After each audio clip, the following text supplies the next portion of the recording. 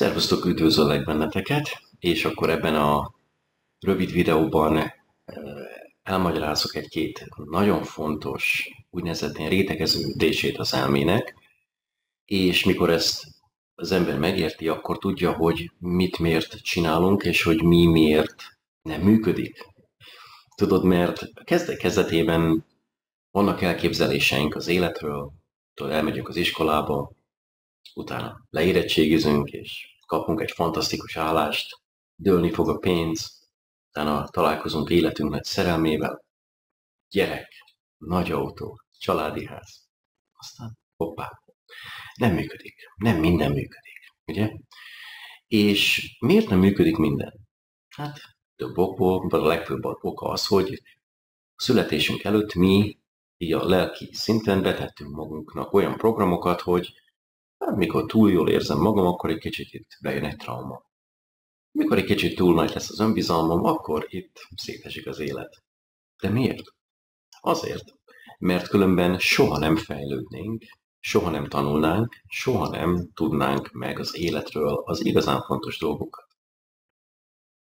És megtudni az igazán fontos dolgokat, az nem arról szól, hogy melyik iskolába mentünk, ki volt a tanár, mi volt a nevünk, kockafejünk volt-e vagy sem, hanem arról szól spirituálisan, alignmentbe, azaz egy egyenes vonalba vagyunk-e. Gondolom Magyarországon ez még frusztrálóbb, mint talán itt Amerikában, hogy olyan elvárások vannak, főleg így a munka területen, hogy az embernek csak forog a szeme. Legyél 20 éves, 40 éves tapasztalattal.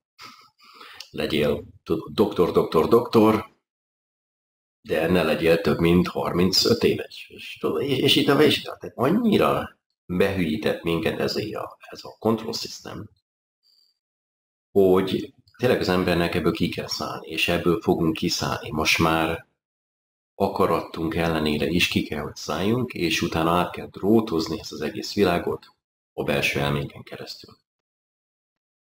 És ezért csinálom ezt a videót, hogy, hogy lássátok, hogy belőlünk ered minden. Mi voltunk, mi, az mi elménk teremtette a korrupciót, a mi elménk teremtette a szívtörést, a mi elménk teremt mindent, csak, csak ez komplex, ez nem evidens. És az történik, hogy úgy tanítottak minket, hogy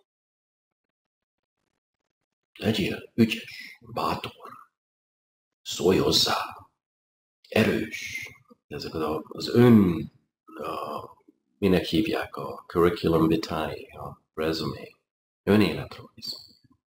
Tudod, ezek a megbízható, bátor, erős, mung, rátermett, tudod?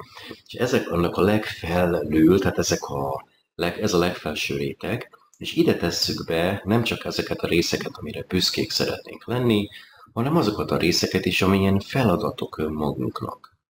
A szorgalmas feleség, a megbízható férj, a jól tanuló gyermek.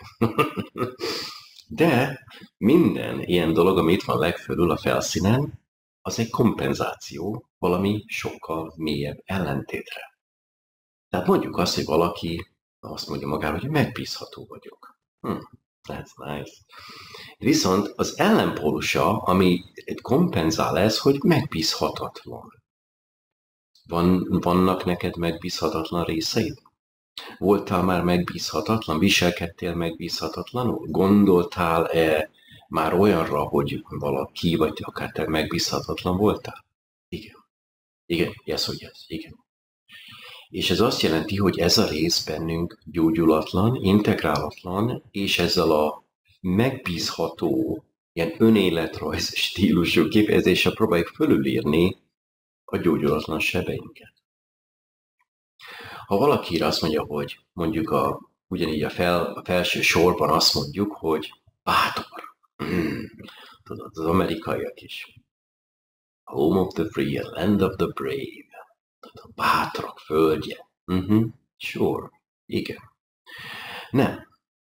amikor ennyire el vagyunk varázsolva, és azt mondjuk magunkról, hogy bátor vagyok, akkor igazán a gyávaságunkat bújtatjuk. Kompenzáció. Jó? Tehát azért mondom ezeket, mert amikor fent ebben a felső rétegben mozgunk, addig egy kicsit ilyen naívan, kicsit, nagyon komoly naívan, tudod, éljük az életünket, viszont alul van több tízezer olyan gyógyulatlan ellenpólus, olyan seb, ami igazándiból befolyásolja, hogy milyen sikerre teszünk szert, hogy sikerül a kapcsolatunk, hogy sikerül, vagy hogy az egészségünk hogy alakul, és így tovább. Nagyon sok ember, főleg a kezdet, kezdetén, ez egy ilyen eléggé kommersz és egy mezei dolog, de muszáj ezt az áramkört, vagy ezt a biztosítékot kicsapni, mert ez nagyon fárasztó és betegé tesz, hogy az ember próbál jó embernek lenni. Hát én jó ember akarok lenni. Én Afrikába járok, és a gyerekeknek, tudod, ezt adok, azt adok, meg hidat építek az otthontalanoknak, meg, meg tudod, a majmokat szeretem, meg nem, nem, nem, ez nem erről szól. Mit kompenzálsz ezzel, hogy te próbálsz jó ember lenni? Hát azt a hiedelmet magadról, ami lent van így a mélyben, a sötétben, hogy te nem vagy jó ember. Azaz te rossz ember vagy. Mindenkiben ez ben van, ez egy úgynevezett ilyen árnyoldalom.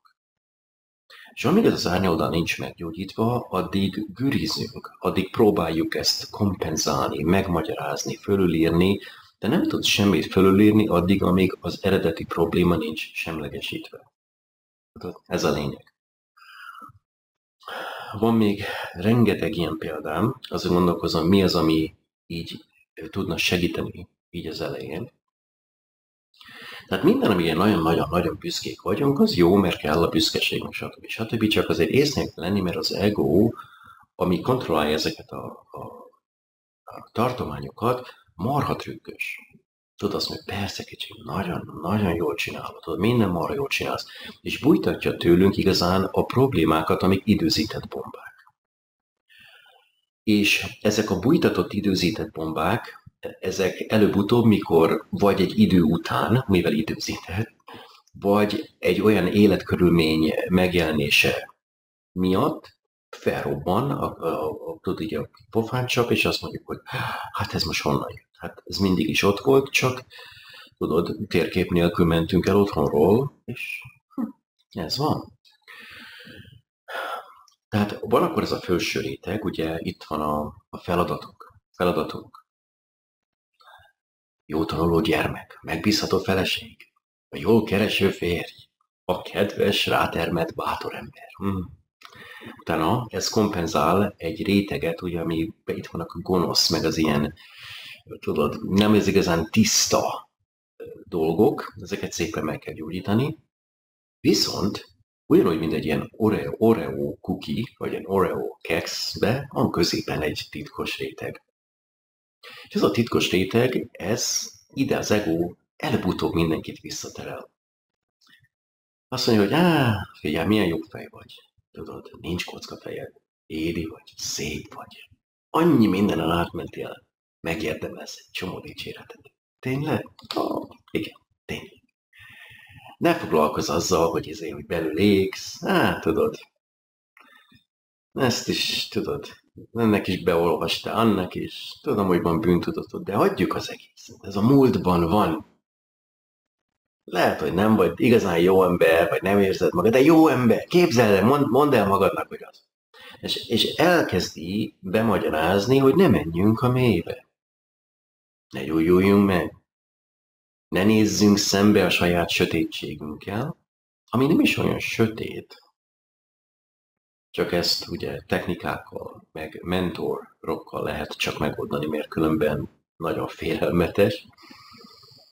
És mikor az ember ugye nem tudja a receptet, amit szinte milliárd ember nem tud, akkor azt mondja, hogy hú, hú, hú hát ez ijesztő, lehet, hogy rossz úton járok, akkor az ego beterel minket ebbe az Oreo keks közepébe, és akkor itt ilyen úgynevezett ilyen gyenge árnyoldal tartományban mi akkor úgy érezzük, hogy hát, mindent megpróbáltunk. Itt jön a mártírság. Itt jön az áldozat dolog. Itt jön a gyengeségeink. Hát nem értem, miért nem működik. Mikor annyira mindent megpróbáltam, és olyan jó fej voltam, és egész életemben dolgoztam keményen, és nem tudod, hogy csak tudod, pont, pont, pont, pont, pont, de senki nem mondta el, hogy azért esett szét az élet, mert az alapta lévő tartományok feldolgozatlanok. Hm. Hoppá. És az egyik több ezerből, az ilyen, amitől borsózik a hátam, ezek a pozitív kócsok.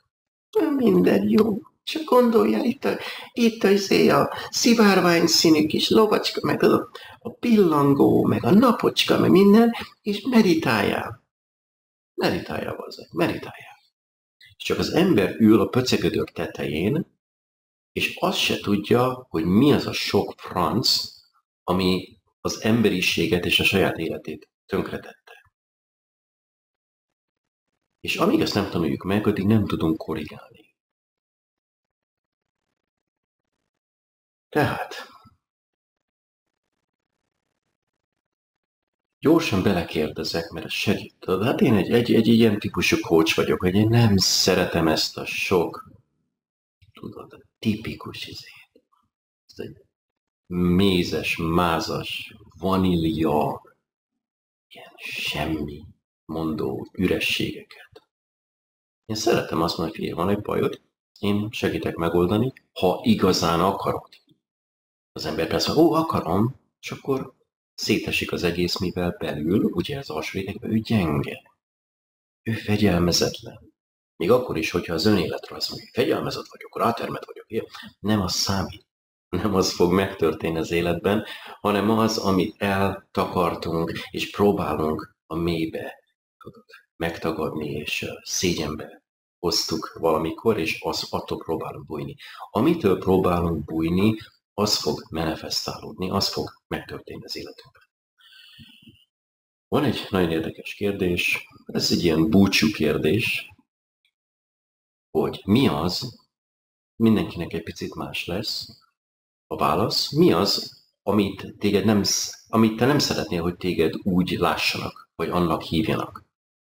Mik azok a dolgok, amit te nem szeretnéd, hogy téged úgy nézzenek, úgy lássanak, hogy an, abban a kategóriába soroljanak. Ebbe csomó minden bele. Oké, ezen tudsz majd gondolkodni, mert azok a dolgokat, amit most mondtál el, hát én nem akarom, hogy tudod, rossz embernek nézzenek, meg seggfejnek nézzenek, meg ilyen. Igazán te azt hiszed magadról a tudat alatt. Hát ezek benned aktívan vibrálnak, és ezek manifestálódnak és termelődnek benned. Tehát ezt az életet teremted. Egyszer még régeségen, több évvel ezelőtt csináltam egy előadást a, a Amcsiban, és megkérdeztem ezt a kérdést így az emberektől, hogy hát mi az, amit nem szeretnéd, hogy az emberek így lássanak, vagy így gondoljanak rád. Ez, meg ez, meg ez. És akkor gondoljon át, látod, pont ezt hiszed magadról. Nem, nem, hát én nem, nem a szart. Nem a szart, nem. És aminek én nagyon örülök, hogy az emberiség, ugye 1.0-ás verzió, hogy ez most már iktatódik ki, jön a 2.0-ás verzió, és a 2.0-ás verziónak ezt nagyon komolyan meg kell tanulni. Hogy az elménk a benne lévő egymillió konfliktus teremti a külvilágot, a magunk világát, a családi és az egészségi és az anyagi körülményeinket, és ennek van egy nagyon precíz metodikája, és egy nagyon érdekes, komplex logikája. És amikor ezen szépen átmegyünk, utána csodálatos, jó életet tudunk teremteni nem csak magunknak, hanem a, mindjájunknak, a közösségnek is. Jó? Jó, gyerekek, ennyi volt. Gondolkodjatok ezen, ez nagyon sokat fog segíteni. Egy kicsit először ütős, tudod, ez a boom. Um, ó, ez, ez, ez nem, nem erre gondoltam. Ígyunk gyorsan erre. Ne így ne így áll. Gondolkodj. Jó? És utána meg fogod látni, hogy amikor szembe merünk nézni, így ezekkel az elnyomott, elvarratlan, így belső tulajdonságainkkal, utána fel fogunk tudni szabadulni. Azért betegek az emberek ma, mert ez a rengeteg elnyomott árnyoldal, ezek a furcsa ilyen ö, kompenzációk. Tudod, mindenki próbál jó fej közben próbálja a gyógyulatlan sekvejségét, tudod, nem megemlíteni, vagy nem dolgozni rajta. Mindenkiben ez megvan, tehát ez nem olyan, hogy az egyik ember jobb fej, mint a másik, hanem ez az van, mindenkinek ezen át kell menni, és ahhoz, hogy igazán szembe merjünk nézni magunkkal, ahhoz egy komoly bátorság kell. A bátorság, ugye megint ez a főszín, bátor vagyok, igen, az, aha. És mi a, mi a bátornak az ellenkezője? Hát a gyáva. Uh-huh. És ki a gyáva? Mindenki, amíg át nem dolgozza magát ezeken az elmei síkokon, elmei részeken. Azért van az, hogy a legtöbb ember megáll félúton, ne is, ne is beszéljünk félúton, az egy százalékán az útnak. Mert megijed a saját erejétől, megijed a saját sötétségétől, de ezek mind ilyen ego kifogások. Hát én nem tudtam, hogy ennyire sötét vagyok. Nem a francot, kérlek. Nem attól ijedünk meg, hogy sötétek vagyunk belül, hanem attól ijedünk meg, hogyha feldolgoznánk a sötétet, hogy mennyire erősek vagyunk, és hogy mennyire világosak, lightok vagyunk, lightosok. Ez az igazi félelem. És ezért nem csinál szint az ember semmit, és ettől csak nyomjuk tele a, a kvantummezőt, az egyik rosszabb gondolat után a másikkal, és ezért van ez az oltári káosz. És amíg nem tanuljuk ezt meg, és szépen elkezdjük lebontani, dolgozni magunkon, addig csak nyomjuk tovább a régi vibrációt, a régi üzenet. Jó? Tehát azt javallom nektek, hogy azok a részeit, amit úgy érzed, hogy hát erről ne beszéljünk, ezeket, hogy barátkozzál meg velük, és fogad vissza őket. Ezeket a részeket mi elutasítottuk. És ezért dühösek, ezért dühös az emberiség, mert van egy csomó ilyen elnyomott, ezek a megtagadott részeink, az árnyoldalaink, és dühösek. Nem mi vagyunk dühösek, hanem az árnyoldalaink, és rajtunk keresztül ezek aktiválódnak, és mi viselkedési formában kifejezzük őket. Tehát az a része, azok a részek, amik úgy érzed, hogy ez nem vagy igazán jóban, azokkal üljél le egy kávéra. Hát figyelj, te kis zsarnok. Tudod, gyere, csücs. Ne arra, hogy nem tudtam, hogy te tudod, ennyire dühös vagy rám. Tudom, hogy kirúgtalak, mert azt hittem, hogy az csak te vagy, de kiderült ez a részem, ez a puzzle-nak egy része. Gyere, mesélj, mit szeretnél? Mi fáj, mi bánt? És utána megbarátkozol a saját megtagadott árnyoldalaiddal, megtagadott részeiddel, és utána nem kell tettetni azt, hogy mi kurva jó fejek vagyunk. Mert azok vagyunk, mikor átdolgoztuk magunk a saját elménket. De addig, amíg csak próbálunk, tudod, hárítani, meg, meg ez, meg az, addig, addig nem vagyunk jó fejek, mert, mert igazándiból hazudunk magunknak. Azzal, hogy megtagadjuk az igazságot, azzal, hogy nem merünk szembe sülni a saját gyengeségeinkkel, azzal, hogy nem merjük elismerni azokat a dolgokat, amiket nem szeretünk magunkban, és amíg nem csináljuk azt, hogy szembesülünk a saját gyengeségeinkkel és a szeretetlen részeinkkel, addig tovább visszük ezt a vonalat. És mikor lesz azt mondjuk, hogy oké, okay, elég, de egy kicsit lehet úgy, úgy tűnik, hogy szétesik a világ, mert megszűnik egy ilyen Hát ez a kamu világ, amit magunknak teremtettünk, és utána elkezdjük szépen átvizsgálni a dolgokat, és utána elkezdünk gyógyulni. Nagyon sok problémám volt nekem is. Egészségügyi probléma, több ezer. Nem csak a stroke. A stroke volt az első, azt mondta az univerzum, hogy figyelj, csúcsú. Ne csináld a hülyeséget tovább, kis szívem, tudod? Össze-vissza rohangálsz, mint egy mérgezett egér, és teljesen rossz irányba. Tudod? Nem. Bum, Nesze itt van. Tudod? Csücs. Most én beszélek. És utána tudod, az ember így, kijön ebből a kómás transz állapotból, azt mondja, hogy hát most mi történt? Most mi van? Mi van? Rossz térkép. Szerint mozogsz. Rossz a program. Rossz a, az ötlet. Az, az elme. Jó? Nézzél, merjél szembenézni azokkal a dolgokkal, amik nem kényelmesek. Én 1989-ben jöttem ki az USA-ba, akkor voltam 21 éves. És nagyon érdekes, mert ugye járok haza Magyarországra, a barátnőm német, tehát Németországba is járunk, és ami nekem nagyon érdekes, hogy milyen keveset változik az ember, az átlagember. Miért? Mert nem dolgozik magán. Nem engedi el a sok rossz árnyoldalát, nem mer szembenézni magával, a világgal, és ezáltal ilyen mentális rabszolgává tettük magunkat. Amíg nem merünk szembenézni az igazsággal, addig ugyanazt a rabszolga programot fogjuk futtatni. És ez, ennek több ezer része van. Szóval, igen, ennyi. Most ennyi. Azt hiszem, hogy ez nagyon sokat fog segíteni, még akkor is egy kicsit tudod, most gyorsan ezt le kell öblíteni egy kis zével, vodkával, vagy rummal. De enélkül nincs gyógyulás.